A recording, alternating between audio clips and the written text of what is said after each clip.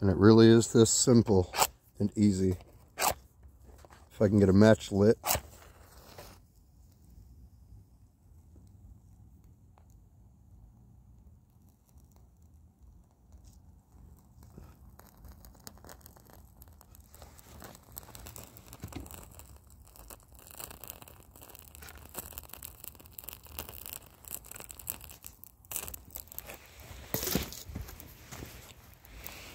So right there,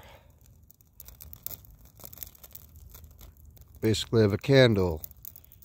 And that cheesecloth isn't really going to burn. It's going to pull the wax up just like a normal candle would do.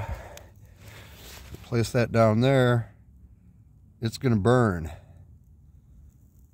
on its own and it will stay burning for quite a while. So, now I have this. And simply put this right here.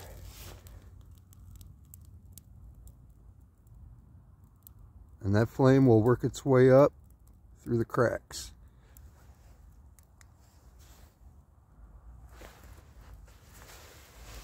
Plenty of airflow down here. And there it is.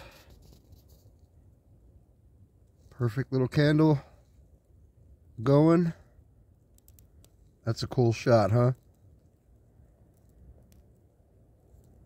You can hear that paraffin wax crackling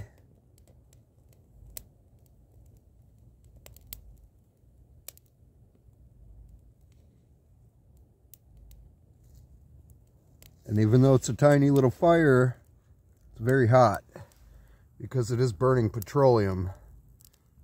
That wax comes from petroleum.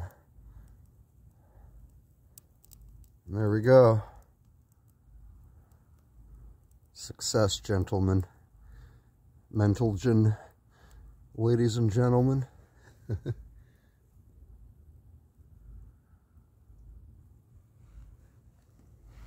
we will have a fire. Well, went out there for a second, huh?